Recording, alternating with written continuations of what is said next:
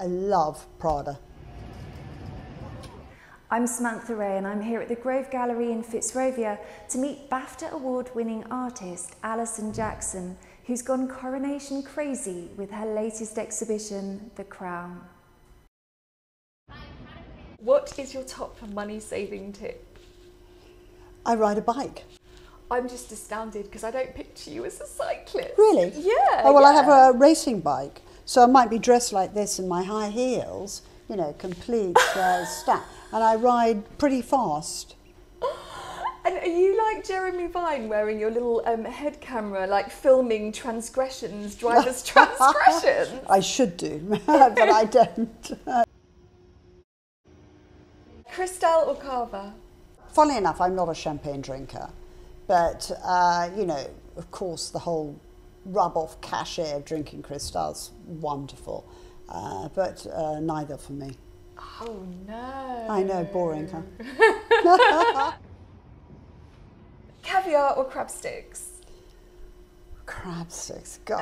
no, caviar is one of my most favourite things, and I very, very rarely uh, have it, but it is delicious. Yeah. If I ever go to a party and there's a caviar bar there, you'll find me there.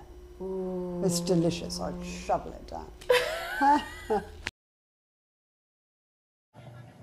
Benidorm or Barbados? Well, I might pass through Benidorm to get somewhere in Spain, but Barbados is a particular favourite of mine because I spent most of lockdown having to travel to and fro the States and having to spend a lot of time getting germ COVID free, COVID germ free through Barbados.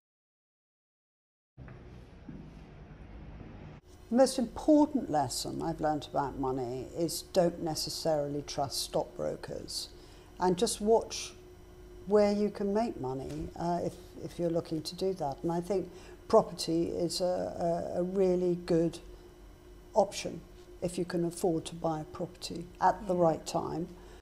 Save up and try and buy some property. Cartier or Claire's accessories? Oh my God. Well, I mean, look, I'm both because I love the most gorgeous and well designed things in the world. And I did have a beautiful uh, Cartier watch. And, uh, but I am always topping up with uh, cheaper accessories, accessorized, Zara.